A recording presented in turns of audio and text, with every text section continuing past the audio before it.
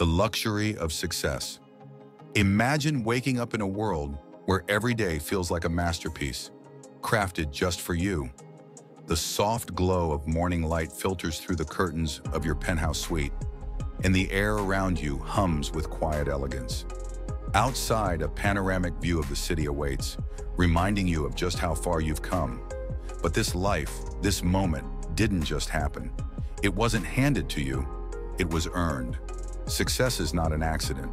It's the result of hard work, focus, and an unshakable belief that you are destined for greatness. You didn't settle for average, and you certainly didn't let others define your worth. No, you defined it for yourself by setting standards so high that only the boldest of dreams could touch them. You are not here to live an ordinary life. You are here to experience the extraordinary, to own it, to luxuriate in it. Luxury is not a product, it's a mindset. It's not just about the car you drive or the watch on your wrist, though those are nice too. It's about waking up each day with the knowledge that you are in control, that you have mastered the art of living on your own terms. It's about the freedom to make decisions that amplify your power and the confidence to know that you deserve it all.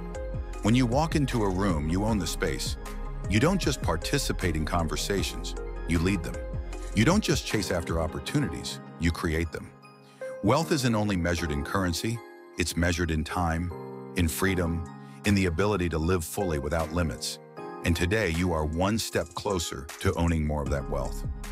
Each decision you make, each challenge you face, is a step toward building a life that radiates success, elegance, and undeniable luxury. So what's holding you back? Fear? Doubt? Let those be the things that push you forward, not hold you down. You've already proven that you can rise above. Now it's time to soar. Imagine the world at your feet. Imagine every dream, every goal turning into your reality.